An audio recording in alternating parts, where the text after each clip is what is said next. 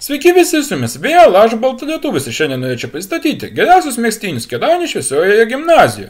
Tai yra šviesuoliai.lt. Jie ne tik didžiuojasi turėdami naują mėgstinių liniją, bet ir žino, kad jie geriausiai dominuoja mėgstinių rinkoje šviesiojoje gimnazijoje. Ar norite sušildyti savo širdį, ar norite pakeisti senamaniškus mėgstinius, tai užsuk į mūsų parduotuvę. Mes esame šviesuoliai, tai ne tik vardas, bet ir pažadas. Priklausome ne tik moderniam stiliui, bet ir aukščiausios kokybės produktams. Mūsų mėgstiniai.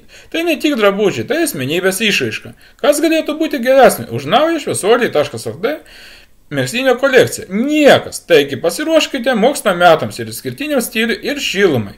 Jei ieškote ne tik mėgstinio, bet ir asmenybės, išbandykite mūsų mėgstinius, kuriuose galite rasti tik šviesuoliai.lt. Mes ne tik pasižadame, tai ir gyvendiname. Pažinkite stilių, pajauskite šilumą tik pas mus. Taip pat pasiekite mūsų Instagram'e šviesuolį ir pačią geriausią grupę Zaza. Visas nuorodas paliksiu aprašymę. Kviečiame apsilankyti tave su jumis buvo Baltų lietuvis. Iki kito karto.